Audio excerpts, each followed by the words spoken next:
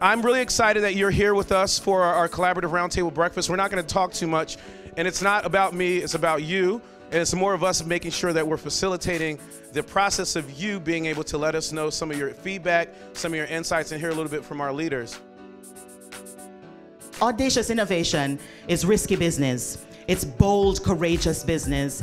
And I'm so grateful and honored that HBCU Faculty Development Network allowed us to bring some of Propel's business here because we couldn't think of a better group to do this work with as thought partners.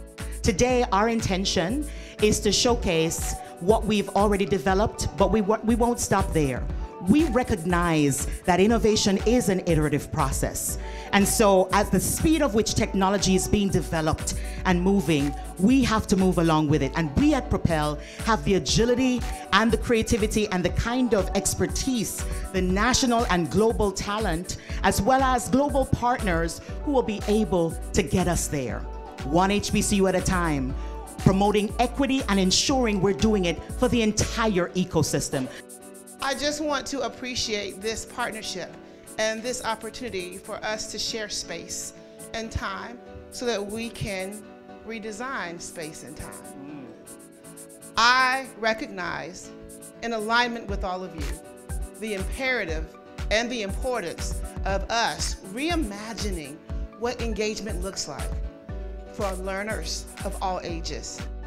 When we don't invest well in faculty development, when we don't create a space for you, a safe space for you to ideate, a safe space for you to brainstorm, a safe space for you to vision cast, we do you a disservice.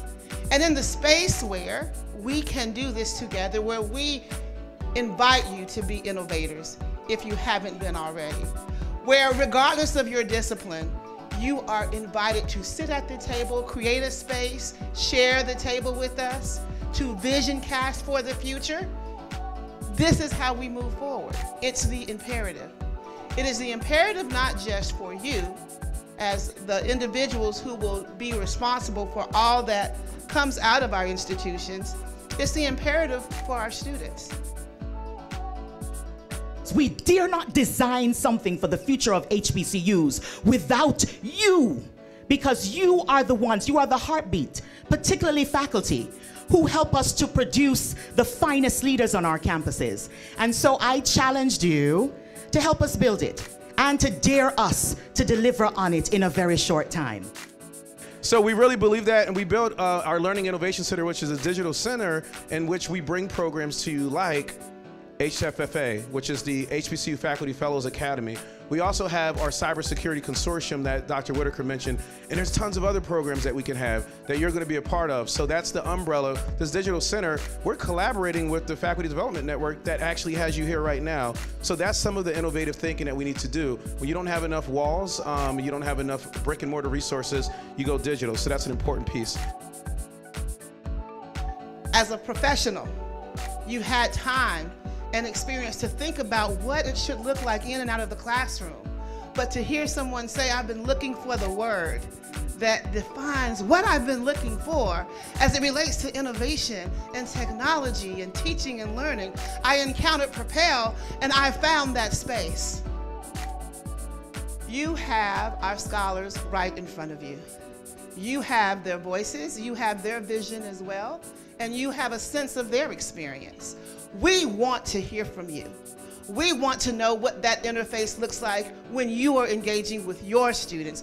We want that feedback. If you have a wondering, if you're looking for a word and you can't figure out what it is, if you're trying to define an experience but you really don't know what it should look like, if you hear a student speak of something that they can't quite name but they're passionately trying to articulate it to you, in comes Propel. Allow us to be that thought partner allow us to also be that incubator where we can co-create together and reimagine and redesign and redefine what the learning experience looks like by virtue of choosing an HBCU experience.